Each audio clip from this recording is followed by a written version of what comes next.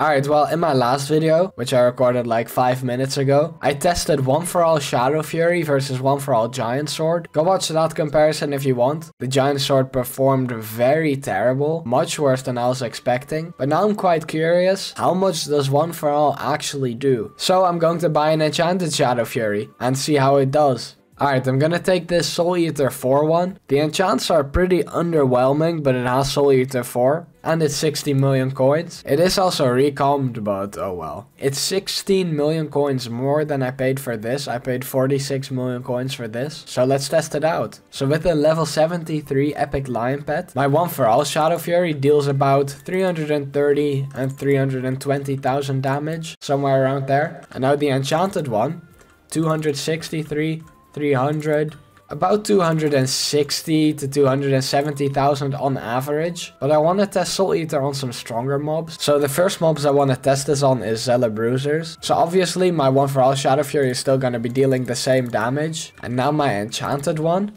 So 305k there. 520k 488k, 470k. So yeah, obviously because of my Ender Slayer, my First Strike, and the Soul Eater, it's gonna be dealing a lot more on these. But I also kind of want to test this on Ghosts. I want to see how viable a Shadow Fury is for grinding Ghosts. And also for me as a Necron non with a Tarantula helmet, it's pretty satisfying to see me hitting over 500k damage sometimes. But yeah, I'm really curious to see how much I deal against Ghosts, because I'm assuming they're gonna give me a bigger Soul Eater buff, but obviously, I'm not gonna be getting my Ender Slayer 5 buff. So yeah, I'm pretty curious to see. I have the Soul Eater buff now. Okay, 350k. That is only on the first hit because of first strike.